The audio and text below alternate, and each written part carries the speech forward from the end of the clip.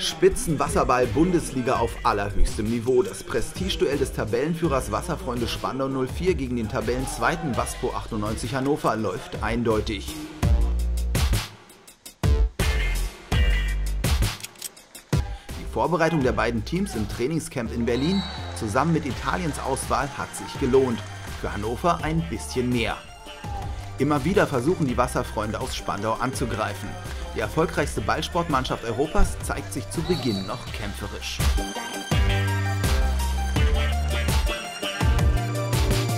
Wir wollten selbstbewusst auftreten als Team. Das ist uns ja, streckenweise nicht mehr so gut gelungen. Erstes Viertel war noch ganz gut, ja, ähm, mit dem 2-1 oder 2-2, wie es da stand. Ähm, Danach sind wir eingebrochen, haben nicht mehr so gut äh, harmoniert. Schon im zweiten Viertel liegt Waspo in Führung und lässt auch nicht mehr locker. Hannover setzt vor allem auf sein Star-Duo aus Montenegro mit Alexandra Radovic und Draco Brgulian.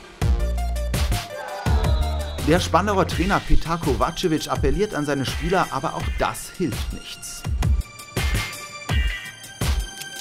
Auf einmal gingen die Schüsse nicht rein und wir sind nur noch hinterher, äh, hinter Vasco hergeschwommen und wir konnten nicht unser Spiel spielen, wie wir es eigentlich haben wollten und haben nach deren Regeln gespielt, so äh, sage ich mal. Und ja, das ist jetzt im Training müssen wir jetzt daran arbeiten. Enttäuschend für die Wasserfreunde, aber Hannover wirft ein Tor nach dem anderen. Immer wieder muss Spandaus Keeper hinter sich greifen.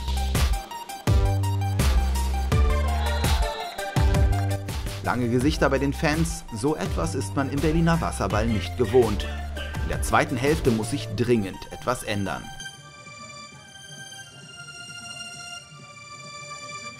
Na, wir haben halt taktisch noch mal ein bisschen was verändert, weil wir gesehen haben, in der zweiten Halbzeit lief es auch nicht mehr so gut.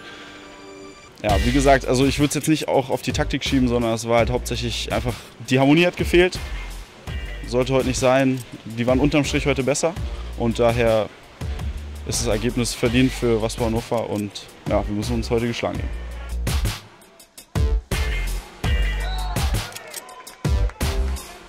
Auch wenn das letzte Viertel noch einmal ausgeglichen ist, die Fans und Spieler aus Spandau müssen heute mit trüben Gesichtern nach Hause gehen. Am Ende 7 zu 11 für Waspo 98 Hannover.